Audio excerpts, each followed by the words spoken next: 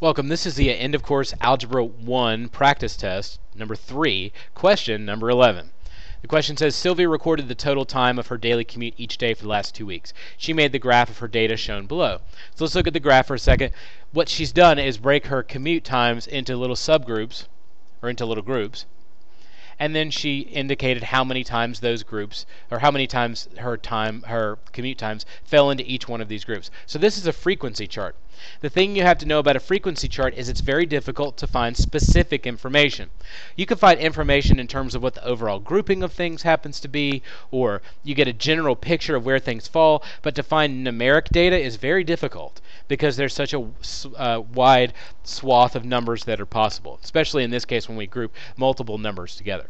So let's look at the possible choices. The question's asking me which statement is can be shown to be true based on the data. So A says the mean time Sylvie took to commute is 58 minutes. They got that data by uh, busting this in half and saying, well, between 56 and 60 is 58, so it's got to be the mean.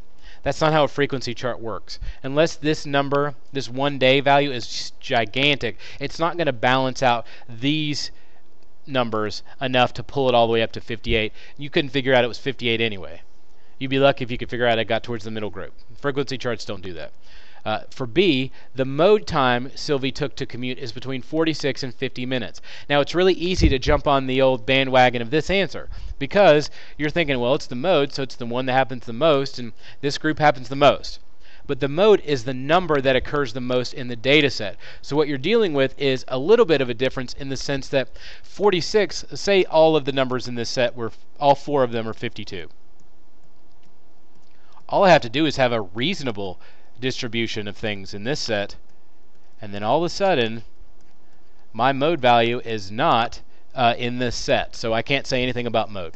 The next one says Sylvie took between 71 and 75 minutes commuting for one fifth of the total number of days. We have to count them all. 2 and 6 is 8, plus 4 more is 12, 13, 14. For some reason, Sylvie commutes every day of the week. Apparently, she does it for non work reasons.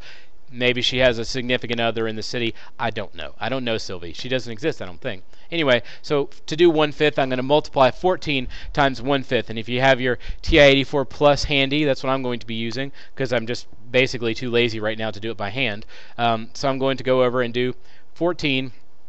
I need to erase this because it's driving me insane before I start typing. It isn't. So I'm going to do 14 times and I'm going to hit alpha y equals to get my fraction menu to pop up, 1 fifth.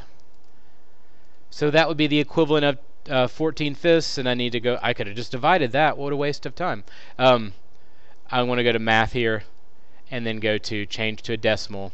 So for some reason I did it the long way. Just do the division on your own. So 14 divided by 5.